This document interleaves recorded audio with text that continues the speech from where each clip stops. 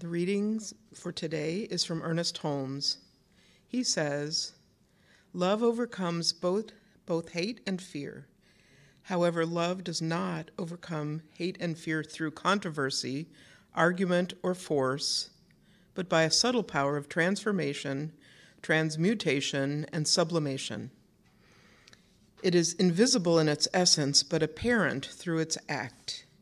As light overcomes the darkness, as the presence of heat causes the coolness of a room to change until it is warm and comfortable, so the radiant action of love and peace dissipate fear, hate, and confusion. Love is the victor in every case. Love breaks down the iron bars of thought, shatters the walls of material belief, severs the chain of bondage through which thought has imposed, and sets the captive free. And so it is. So I find it pretty amazing. Um, I don't know if anyone's ever prepared for a talk or to give some sort of presentation. Um, and so in, in preparing for this talk, I just kind of get quiet and see what comes to the surface. And boy, was I not happy. no matter how much I tried to avoid the specific angle that I'm going to attempt, on this topic of love and action. It wrestled me, tackled me, grabbed me, just this was what it was supposed to be. So, in essence, I had prepared this talk for myself, but y'all just get to be, you know, eavesdrop into this. So, in thinking about the topic of love and action, what does this really mean? The one thing that kind of continually came to me were these questions What's the one thing about love that I wish someone had told me a long time ago? What was the one thing, had I known from the beginning about love, would have completely changed my life from then until now? Instead of kind of stumbling upon this concept, what was the one thing about love that I want you to know? What was the, this one important thing about love that will be, hopefully, will flip a switch is everybody in a really deep sense of suspense? I can tell. You're on your edge of your seats. so, what rose to the surface as the answer to all of these questions is that, everybody ready? It is absolutely impossible to love others without a deep and abiding love for yourself. We cannot effectively and genuinely love give, serve, act in love if we have not first begun this process with ourselves. It just can't be done. I have tried any which way to figure out how it can be done, but it can't. It, it, it really can't be done and us reflect what it truly means to love if we have not first started this process. Now, I hear you groaning inside. I can. T- I'm, I'm internally groaning at this, this too. It's not an easy task, but I would su- assert that it is the most important and meaningful task in this conversation about love. So many, so some of you may or may not know that I'm a clinical social worker. I remember it like it was yesterday, even though it has been many yesterdays ago, that I finished grad school and I was going to save the world this was my calling in life. So I set out to meet the need and love every single person that came through my door, to do everything in my power to fix, fix, fix, fix, fix. In this whole like idea of saving the world, which I think is some sort of viral infection you get after you um, graduate from uh, with a social work degree. It's this infection that's kind of really hard to get rid of. Um, probably some other professions too. Um, but I put in countless hours of service, sometimes without pay, just to uh, this idea that I was loving everybody, and I felt really good about that. Now, believe me when I tell you, and I don't care what anyone else says, this cannot be sustained for any period of time before you crash and burn physically, mentally, emotionally, spiritually. And what I was doing in its truest form was not love. I had become like this poster child for a person that really needed to understand self love. And had I known that you also needed a master's degree in self love, it might save me a little time and money. Now, this may sound a little bit uncomfortable for folks when we talk about self love, um, and it, it, continues to be a learning process for me because our upbringing is like we don't want to be selfish, we don't want to think about ourselves, we want to think about others. Even sometimes, you know, our religious organizations sometimes um, we have that mindset, and in societal influences, we have that mindset. Um, but that's not what I mean by self love. I would assert that self love is our highest spiritual practice. It is honoring and caring for that space of the divine that resides in each of us. Then loving and acting from that space. So, what does this look like, and how do we start? Would y'all like to start today? All right, we're going to work on it. We're going to work on it. So, I find it helpful when talking about spiritual practices to actually kind of equate it with something in real life. Um, it makes it real and not boring, hopefully. Um, but it kind of gives you a, something you can look at and say, okay, well, that makes sense. So, while Dusty said the title today was Love in Action, actually, I'm going to change that title. It should be more aptly entitled Triathlons, a Crash Course in Self Love. So, for me, cultivating uh, and perfecting this idea of self love is comparable to training for a triathlon. Now, who, is, who has ever run a triathlon? Nice. Excellent. Crazy people. Okay. so let me set the stage a little bit for folks who have not done this. Uh, what it looked like for me to train for my first and my last triathlon. and I'm going to try to equate each component with the spiritual practice of self love and how we can step more fully into this love and action concept. So, triathlon consists of three events swimming, biking, and thank God, finally running. And so, depending on the type of triathlon, the distances are different. And thankfully, I ran a sprint, which means the distances were small. Otherwise, I probably would not be standing here today. So, finally, after I had kind of talked myself into it and had some other people kind of talk me into it, signed up for the triathlon. And so, I embarked on this training process, um, which consisted of hours in the pool, hours on the bike, uh, miles and miles and miles of running. And as I got closer to training, then I would do two of those things in one day, back to back, practicing. And then I got even closer, then I would kind of simulate the entire, um, you know, all three events. At, that should have been my red flag there, but anyway. I'm not sure this, if this is exactly how you're supposed to train. Dusty was the professional, so I'm sure she knows. Um, but this is how I did it. And throughout the entire process, I also focused on nourishing my body right foods, right amount of protein, right amount of carbs, the right amount of hydration, uh, reducing stress, which means kind of removing some folks in my life for a period of time. Um, just all these things that were just nurturing my body and preparing me for this uh, this action that I was that I was going to embark on. Truly taking care of myself in every way possible. I mean, if I was going to do it, I was going to do it right. I had the outfit and everything. Now, I had an idea about giving the entire talk in my triathlon suit, but the censors um, voted against that. So. it would not have been pretty anyway. Um, all right, so let's pause on this uh, story and kind of like let's kind of dive into what does this have to do with self-love.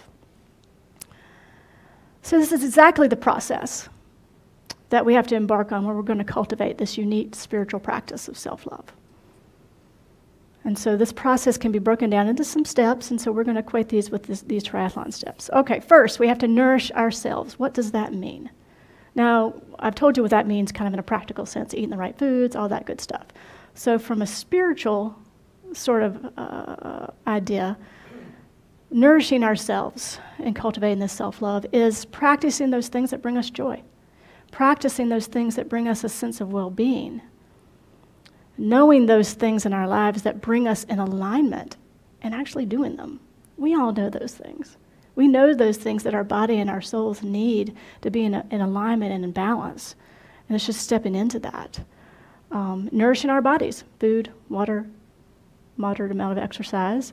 Um, nourishing our minds through meditation, contemplative practices, reading, and also nourishing our emotions. So, focusing on and enhancing those relationships um, that bring us joy and love and support.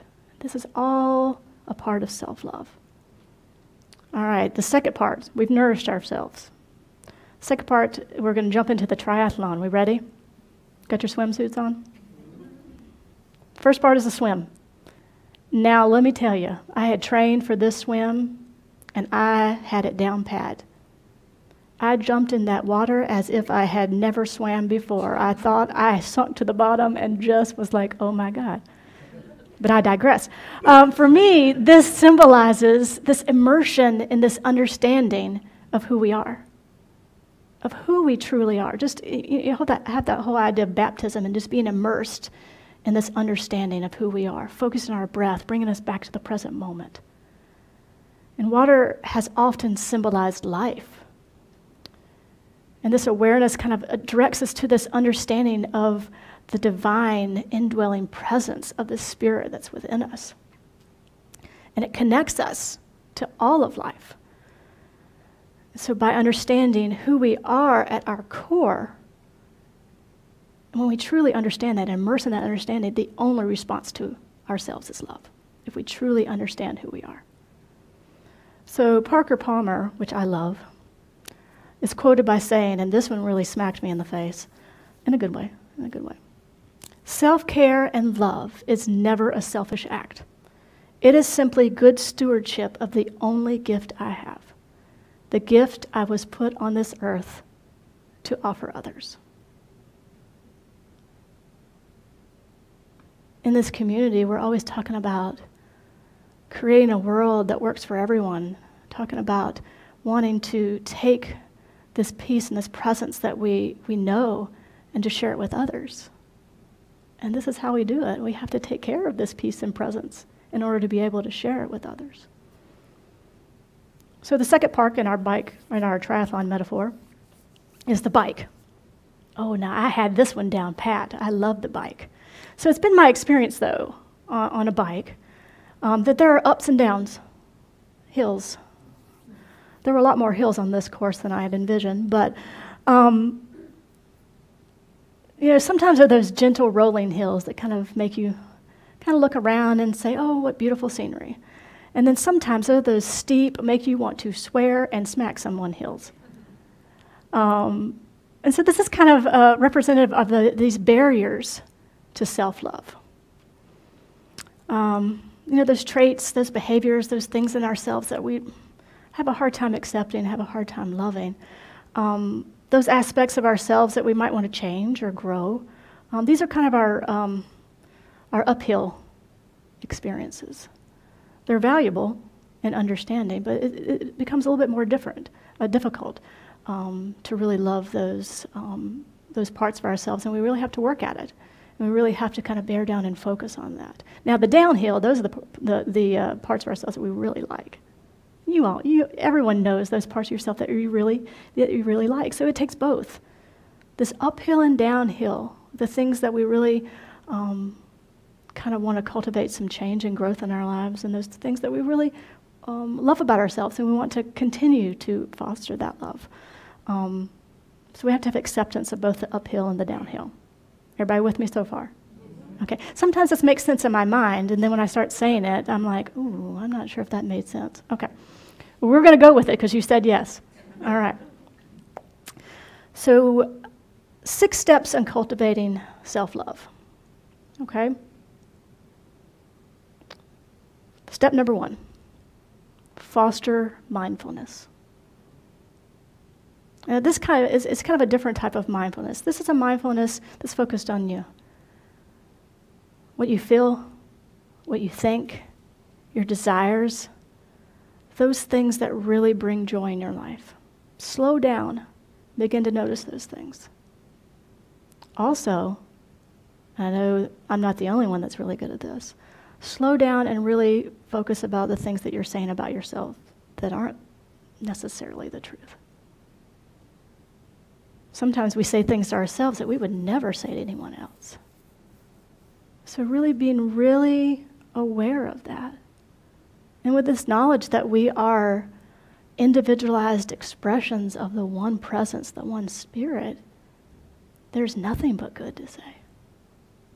That's not to say that we don't have opportunities to grow, but that's what they are. They're opportunities to grow. So, number two, practice self care.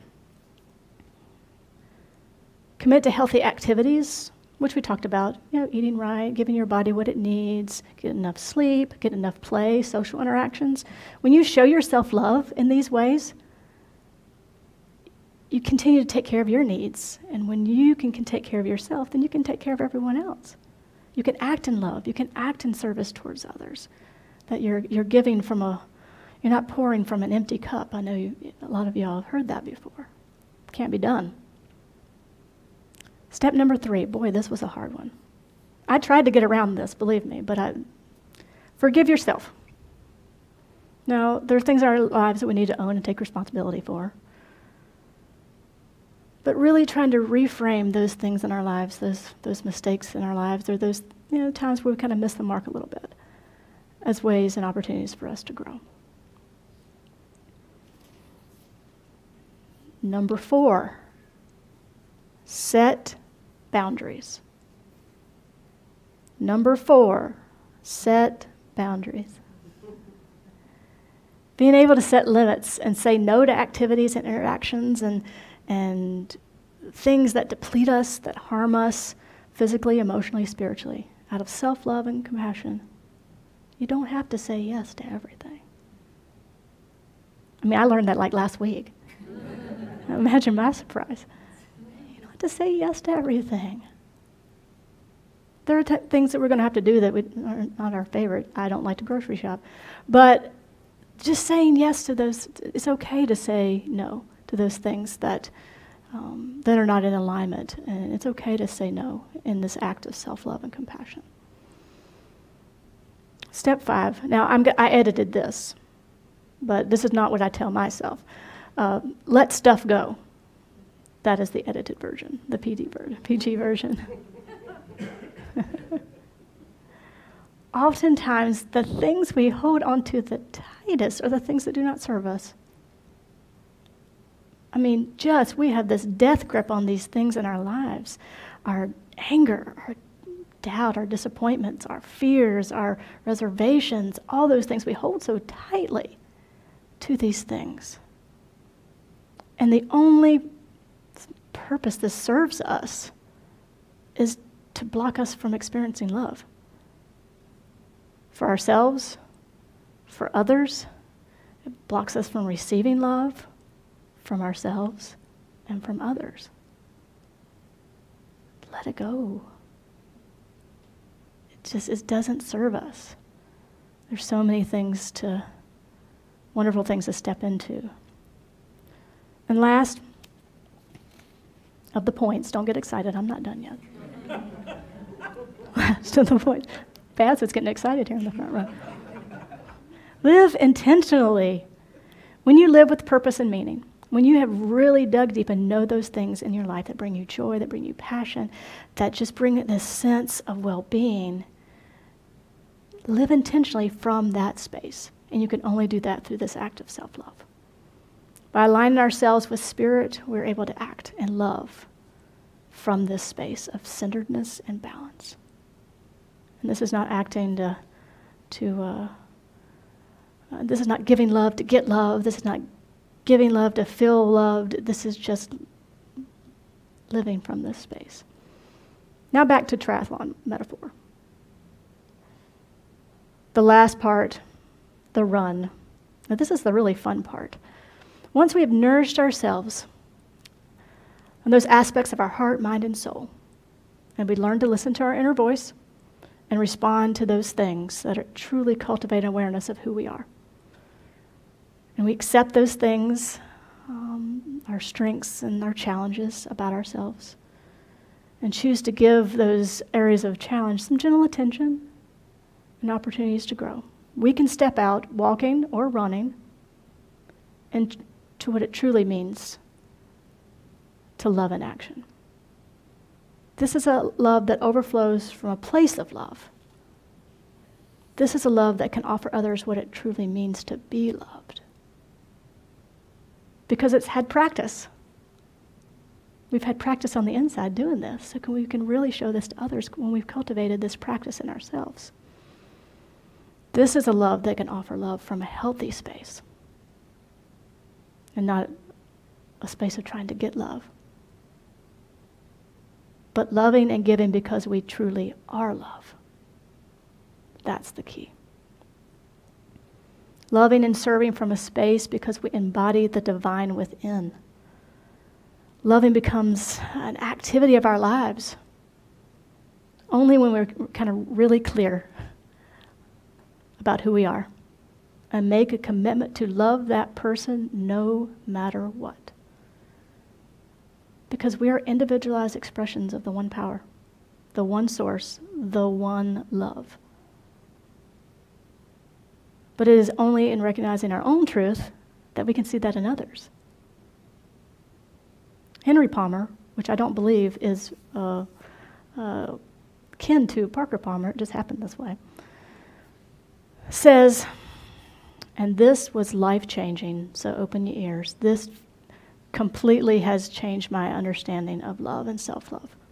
When you adopt the viewpoint, he says, that there is nothing that exists that is not part of you, there is no one who exists who is not part of you, that any judgment you make is self judgment, that any criticism you level is self criticism, you will wisely extend yourself an unconditional love that will be the light of the world. When we focus on and learn to cultivate love for ourselves, we are able to love others. By caring for yourself, you care for the world and those people in your sphere of influence. Our actions of love become this ripple effect. And it's only then that love becomes an activity of our lives. It's only then that we can step into this love of action. Love in action, not of action.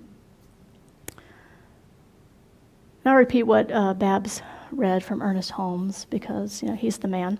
Um, this is from his 1966 work, um, Effective Prayer. So this is long before me and maybe some of you. Um, he said, Love overcomes both hate and fear. However, love does not overcome hate and fear through controversy, argument, or force, but by a subtle power of transformation, transmutation, sublimation. It is invisible in its essence, but apparent through its act. As light overcomes the darkness, as the presence of heat causes the coolness of a room to change until it's warm and comfortable, so the radiant action of love and peace dissipates fear, hate, and confusion. Love is the victor in every case. Love breaks down the iron bars of thought, shatters the walls of material belief, severs the chains of bondage which thought has imposed and sets the captive free. That is the promise of a life that is truly loved from the inside out.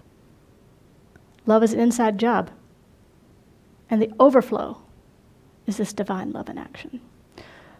So there are many cool things about triathlons. My favorite part, truth be told, was the end. Like I said before, I jumped in and thought I was going to drown in that pool. But the, another amazing part of uh, the triathlon, the one that I was at, um, was the finish line. And um, unbeknownst to me, I had like 15 of my closest friends who knew I was going to do this triathlon. I was just trying to just sneak in and do it, not tell anybody because I didn't want to embarrass myself. But as I'm coming, as I am stumbling across, I mean, gracefully running across the finish line, I was met by this crowd of folks. And they're cheering and hugging and holding these really embarrassing signs that I cannot repeat what they said. Um, and it was just amazing. So, this is another part about embodying love the recognizing that we do not exist in a vacuum. We were born for community, We were born for love. We were born for relationship. That is just the way it is. Surrounding ourselves with a blessed community like we have here, surrounding ourselves with friends and loved ones that will stand behind us, that sometimes will hold the truth for us when it's hard for us to hold it ourselves. I've had many people have to hold the truth until I could pick it up myself. This is also, this just demonstrates the amazing movement and action of love. The reciprocal nature of this divine love. We talk about the reciprocal nature of the universe, this give and take, this flow. That which is within, which we've nurtured, that self love within, flows out to others and comes right back to us. That's the way love works. That is love in action, always moving, never stagnant. So as I crossed the finish line, a medal was placed around my neck. Okay, that was one of the best parts too. I like medals. Not that I did really anything to earn it except survive. So th- it really was a, t- a testament to the fact that I had survived and I was not yet dead. Um, so I wanted to give you a little visual reminder. A reminder that we're all in this together, a reminder, a reminder that the transformative nature of love begins with us. And through our own awareness of the divine within, we're able to see this love in action in everyone and everything we see. So I have a little gift. Where's where are the offering plates? That's not the gift, but yeah. so I have a little medal for everyone. Um, so I want everyone to take this medal, and then I'll give you instructions afterwards. Once you get it. This is not the exact replica of the medal that I received, but we're working on a budget here. it's just a reminder, a reminder that the importance of self love, a reminder that as individualized expressions of the one power and presence, our only response to ourselves is, can be love. Everybody got one? And if you need a double reminder, you can take two. It's okay. I mean, Amazon either shipped 10 or 100, so we've got plenty. All right, everybody got it? All right, place it around your neck. I know it's not cool, but it's cool right now. I want everyone to say, I am love in action. I am love in action. And so it is. And so it is. All right.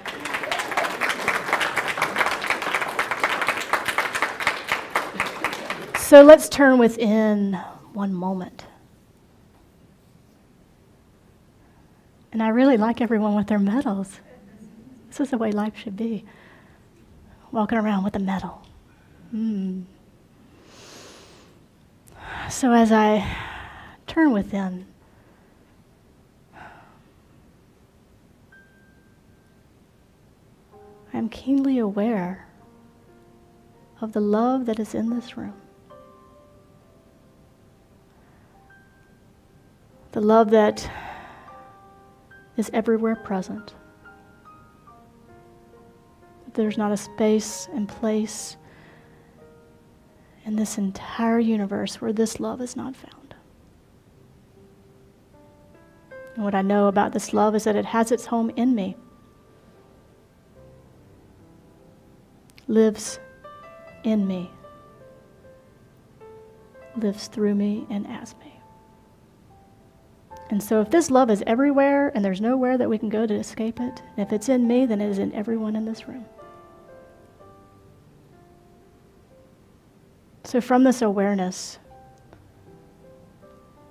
I speak a word on us in this moment. Knowing that there's a place in us where this pure love resides. And knowing that there is nothing, seen or unseen, that can change that fact. And knowing that as difficult as it may be sometimes, we do have the ability to live from that space. And man, what would that look like? To live from that space every day. Because it's the truth of who we are. So I'm grateful. I'm grateful for the opportunity, starting in this moment, to live from that space, to truly recognize and love that space within me. So we release these words into a law that only ever says yes. Knowing, even in this moment, it is bubbling up and becoming a reality. We are love in action. And so it is.